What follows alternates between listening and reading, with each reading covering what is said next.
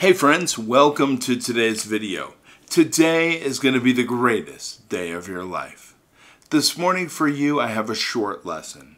You know, someone graduated at the age of 22, but waited five years before securing a good job. Someone became a CEO at 25 and died at 50, while another became a CEO at 50 and lived to 90 years someone is still single while someone in his school group has become a grandfather.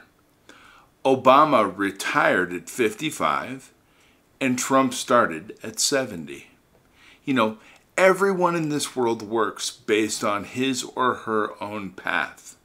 And although people around you might seem ahead of you, and some might seem behind you, but everyone is running their own race in their own time. Do not envy them. They are on their own path and you are on yours.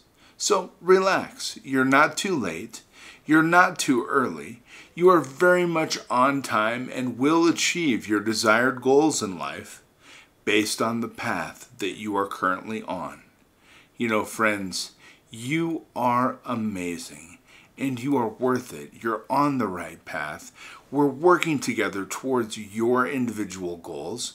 You're amazing. You're applying the recommendations I'm making. You're noticing changes and you're getting to a point where the value add you're providing to our community is increasing day by day. I care about you and I think you are so amazing.